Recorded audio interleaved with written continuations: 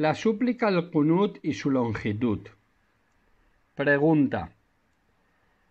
¿Cuáles son las normas sobre recitar la súplica al Qunut y hacerla durar por más de veinte minutos, haciendo que la súplica se asemeje a la forma en que habla la gente ordinaria? Texto de la respuesta. Alabado sea Dios. En primer lugar, la súplica conocida como al Qunut es recomendable hacerla antes de irse a dormir, durante la oración impar, witr, pues esta era la costumbre del profeta Mohammed, que la paz y las bendiciones de Allah sean con él. Y hay algunos reportes que enseñan la redacción de esta súplica. Se narró que Hassan ibn Ali, que Alá esté complacido con él, dijo el mensajero de Dios, que la paz y las bendiciones de Allah sean con él, me enseñó algunas palabras para decir en la súplica de Al-Qunut durante la oración impar. Dios nuestro, guíame entre aquellos que tú has guiado, perdóname entre aquellos que tú has perdonado, vuélvete amistosamente hacia mí entre aquellos a quienes tú te has vuelto en amistad. Bendíceme con lo que sólo tú concedes, y sálvame del mal que haya en lo que tú has decretado.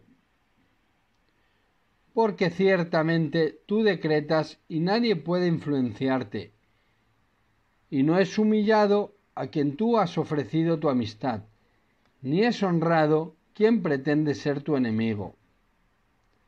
Bendito y exaltado eres, oh Señor, En Sahid ibn Yuzaima 1100 se narró que la gente en los tiempos del califa Umar, que Dios esté complacido con él, solía rezar contra los incrédulos diciendo Dios nuestro, destruye a los incrédulos que buscan evitar que el pueblo siga tu camino, y a quienes descreyeron de tus mensajeros y no creen en el día de la resurrección. Desorganízalos e infunde el temor en sus corazones y envíales tu castigo, oh Dios de la verdad. Entonces él enviaba las bendiciones del profeta Mohammed, que la paz y las bendiciones de Allah sean con él, y rezaba por los musulmanes, y luego rezaba pidiendo perdón para los creyentes diciendo Dios nuestro, Solo a ti te adoramos, solo a ti rezamos y solo ante ti nos postramos y por tu causa nos reforzamos en el culto. Esperamos tu misericordia, Dios nuestro, y tememos tu castigo inevitable, porque tu castigo caerá seguramente sobre quien se opone a ti. Luego él decía el takbir y hacía la postración. Al albani dijo su cadena de transmisión es auténtica. En segundo lugar, limitarse a la súplica que se narró del profeta Mohammed, que la paz y las bendiciones de Allah sean con él, y luego de sus compañeros, que Dios esté complacido con ellos, es mejor y preferible, y trae más bendiciones que redactar uno mismo las súplicas, porque no hay garantía de que tales súplicas estén libres de errores en su significado o que no sean contrarias a la conducta apropiada que debemos tener al invocar a Dios, glorificado y exaltado sea. Y es más probable que uno esté a salvo de presumir al recitarlas. Al-Qadi Ayat, que Alá tenga misericordia de él, dijo, Dios, glorificado y exaltado sea.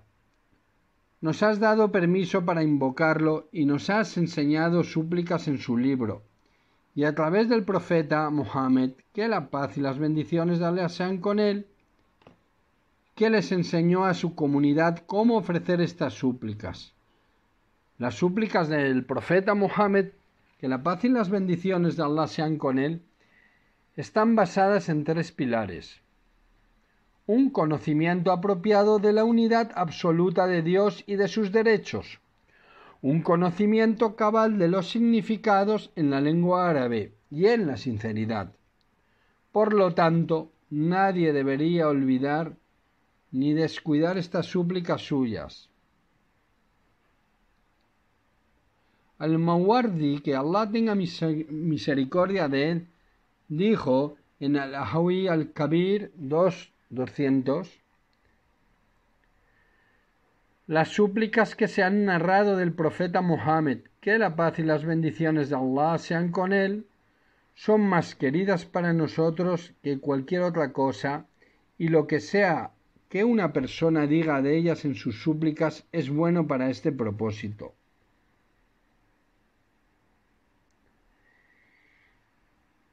Ibn Qail al-Hambali, que Allah tenga misericordia de él, dijo que las súplicas narradas del profeta Muhammad, que la paz y las bendiciones de Allah sean con él, debían ser recitadas regularmente y que era aceptable agregarles algo más.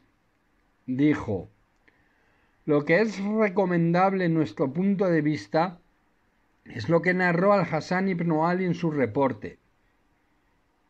Si uno le agrega a eso las palabras narradas por Omar, Dios nuestro, buscamos tu ayuda, no hay nada malo en ello. Ciertamente algunos de los eruditos advirtieron no cambiar la redacción a las súplicas del profeta Mohammed, que la paz y las bendiciones de Allah sean con él. Al punto que al ibn Abd Salam dijo en su fatwa, página 87, no es correcto agregarle ni quitarle nada a la súplica de al que pronunció el mensajero de Dios. Tercero, no hay nada de malo con agregar palabras propias a la redacción narradas del mensajero de Dios, que la paz y las bendiciones de Allah sean con él, en la súplica al kunut, que sean apropiadas a las circunstancias, porque la súplica es un acto de culto que requiere espontaneidad al dirigirse a Dios y esto está permitido en el Islam. Acerca de la súplica narrada de Omar, dice, y él rezaba pidiendo el bien para los musulmanes y el perdón para los creyentes. Al Nawawi, que Allah tenga misericordia de él, dijo en Al-Maimú 3, 477 478,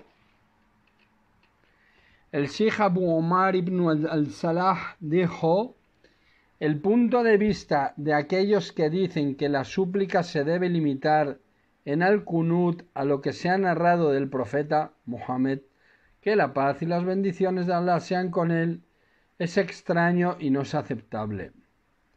Es contrario a la opinión de la mayoría de nuestros compañeros y contrario a la opinión de la mayoría de los eruditos.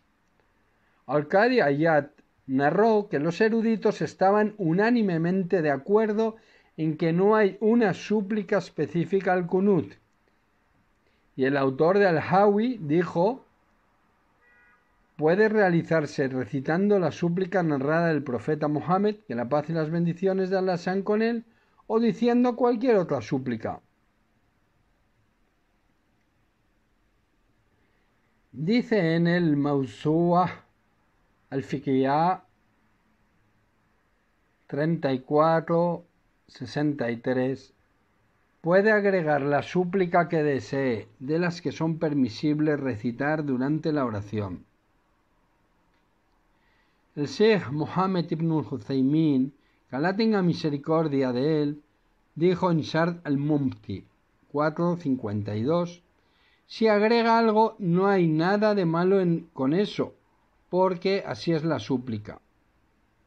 Cuarto, es importante señalar que aunque al agregar a las súplicas frases que no fueron narradas del profeta Mohammed, que la paz y las bendiciones de Allah sean con él, es permisible de acuerdo a la mayoría de los eruditos.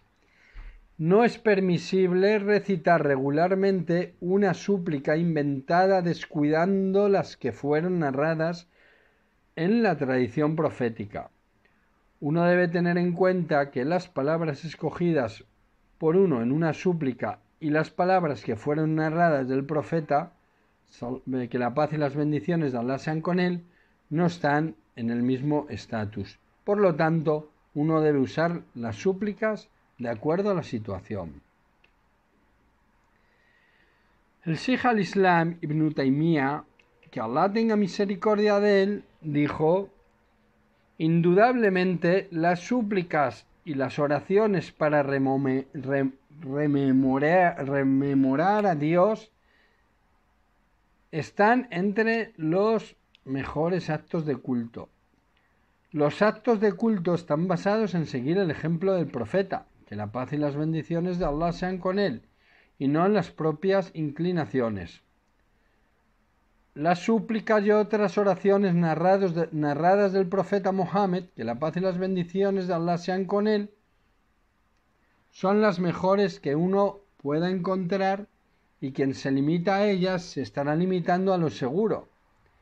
Los resultados beneficiosos que traen no pueden ser puestos en palabras ni comprendidos en su totalidad. Otras súplicas cuya redacción es inventada por el orante pueden encerrar conceptos prohibidos o desaconsejables. Pueden involucrar, asociar a otros con Dios. Y la mayoría de la gente no se da cuenta cuando eso sucede. Y las razones serían muy largas de enumerar. Nadie tiene el derecho de prescribir a los musulmanes ninguna redacción que no haya sido narrada en la tradición profética para convertirla en un acto de culto que debe ser realizado regularmente. Esto es una clase de innovación en la religión, algo para lo cual Dios no nos ha concedido ningún permiso. Por lo tanto, Adoptar un libro de oraciones cuyos contenidos no hayan sido narrados en los textos de la ley islámica está prohibido. Las súplicas y las oraciones para rememorar a Dios que han sido narradas en el Corán y en la tradición profética son las mejores y conducen a beneficios de toda clase, y nadie las reemplazaría por redacciones inventadas, excepto los ignorantes que son negligentes con su religión. Quinto, acerca de, cuán larga debe ser la súplica de Al-Qunut y si debe ser breve o extensa, si estudiamos el reporte de Al-Hassan ibn Ali que hemos citado anteriormente, veremos que la súplica que el profeta Mohammed, que la paz y las bendiciones de Allah sean con él, enseñó es breve y concisa, y que toma solo unos pocos minutos recitarla. Esto indicaría que lo más apropiado para la súplica de Al-Qunut es abreviarla con palabras concisas y elocuentes. Dice al-Mughni al-Muhtah 1, 369, se narró que al-Bagawi en al-Maimú es, desaconsejable alargar la súplica de Al-Qunut con el primer tashahud. Al-Qadi Hussein dijo, si hace la súplica Al-Qunut más larga de lo usual, es desaconsejable. De hecho, Al-Nawawi indicó que combinar la súplica del profeta Mohammed, que la paz y las bendiciones de Allah sean con él, con la que se narró del califa, Umar implica alargarla demasiado y que el imam debe prestar atención a la situación de la gente que está rezando detrás suyo y asegurarse de que ellos estén de acuerdo con que el imam alargue la súplica de esta forma. Él dijo, Nuestros compañeros han dicho que es recomendable combinar la súplica del Kunut que fue narrada de de Omar ibn al-Khattab, con la que fue mencionada en el reporte que citamos arriba. Si ambas son combinadas, la redacción de Omar debería ser recitada en segundo lugar. Si uno quiere abreviarla, debe limitarse a, a la narrada en el reporte. En conclusión, es recomendable combinar ambas redacciones si uno está rezando solo y en caso del imam es recomendable si los orantes le dan su permiso para alargarla de esta forma. Y Allah sabe más. Al-Maimú 3, 478. Así y todo, si combinamos ambas súplicas mencionadas, aun cuando ambas son breves, esto se considera una forma de alargarlas. Por lo tanto, ¿qué podríamos decir de lo que has mencionado en tu pregunta sobre hacerla durante veinte minutos? ¿Y qué decir acerca de aquellos que ofrecen una súplica del doble de tiempo o más, algo que muchos imames hacen sin preocuparse frente a la gente de otra cosa, que su propio deseo o intención? Hemos visto muchas cosas extrañas de este tipo hoy en día. La mejor apreciación sobre este tópico, y Dios sabe mejor, es ser moderados, porque ese es el mejor carácter, y el Islam nos prohíbe dificultar las cosas a la gente, especialmente si esto va a adoptarse como una costumbre cada noche. El Sheikh Mohammed ibn al-Huzaymin fue consultado. En el mes de Ramadán, algunos de los imames en las mezquitas hacen las súplicas demasiado largas, y otros las hacen demasiado cortas. ¿Cuál es la forma correcta? Él respondió, lo correcto es no exagerar ni quedarse corto. Hacerla demasiado larga causa dificultades a los orantes, y esto está prohibido en el Islam. Cuando el profeta Mohammed, que la paz y las bendiciones de Allah sean con él, oyó que Muad ibn Jabal estaba haciendo la oración demasiado larga cuando la dirigía, se molestó con él de una forma sin precedentes y le dirigió la siguiente exhortación. Oh Muad, ¿acaso quieres espantar a la gente de la religión? Narrado por al-Buhari 6106 o Muslim 465. Por lo tanto, lo que uno debe hacer es apegarse a la redacción narrada en el reporte o agregar apenas un poco más que eso. Indudablemente, hacerla muy largo, larga agota a la gente, especialmente a los más débiles entre ellos, como los ancianos. Entre ellos hay gente que todavía tiene trabajo por delante, pero no quieren abandonar la oración antes que el imam, aun cuando es difícil para ellos quedarse.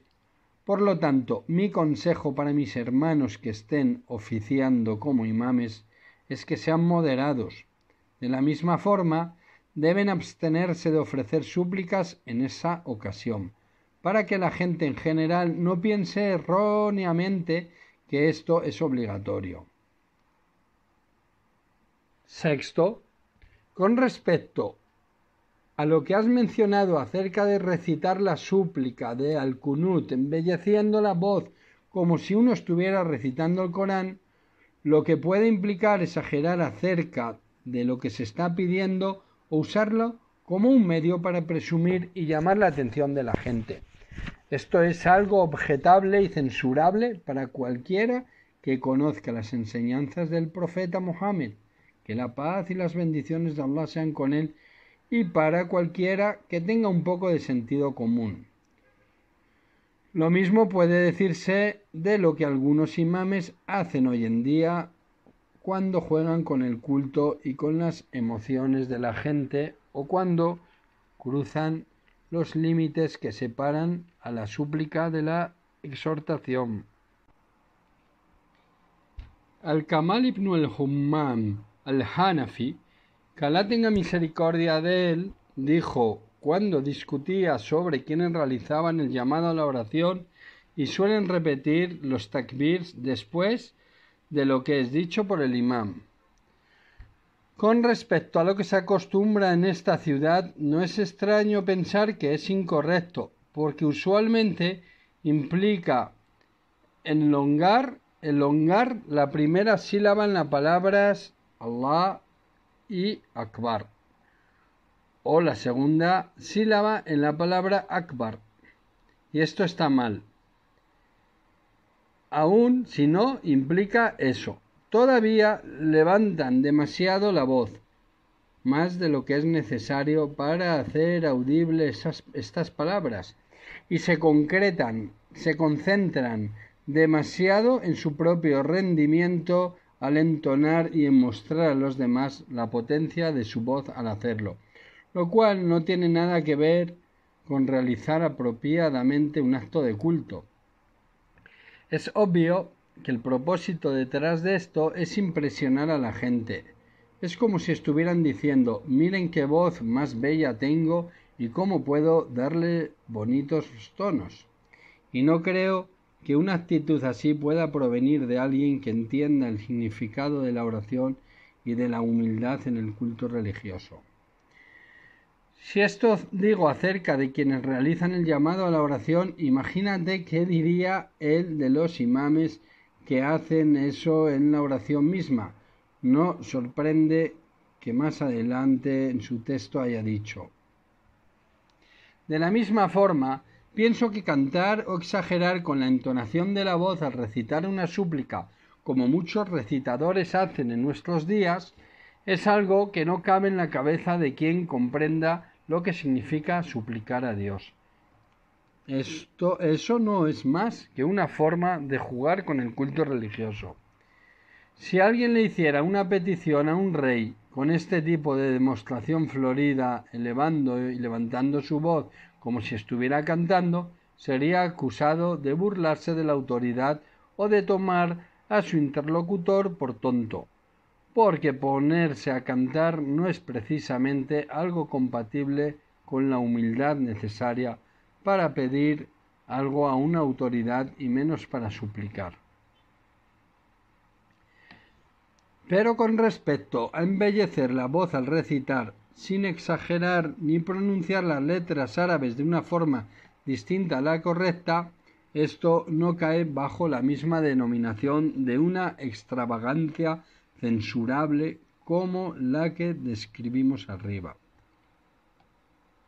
El Sheikh Mohammed ibn al-Huzaymin, que Allah tenga misericordia de él, fue consultado acerca de esto y respondió en detalle. Algunos, algunos imames de las mezquitas intentan suavizar o embellecer el tono de voz durante las oraciones del Taraweh, que se realizan en el sagrado mes de Ramadán, y, durante la súplica del Kunut. Yo oí algunos eruditos desaprobando esto. ¿Cuál es su opinión? Él respondió Creo que si esto se hace dentro de los límites que está prescrito por la ley islámica, no hay nada de malo en ello. Por eso, Abu Musa al-Asari le dijo al profeta Mohammed que la paz y las bendiciones de Allah sean con él, si yo hubiera sabido que tú estabas escuchando mi recitación, la habría hecho más bella para ti.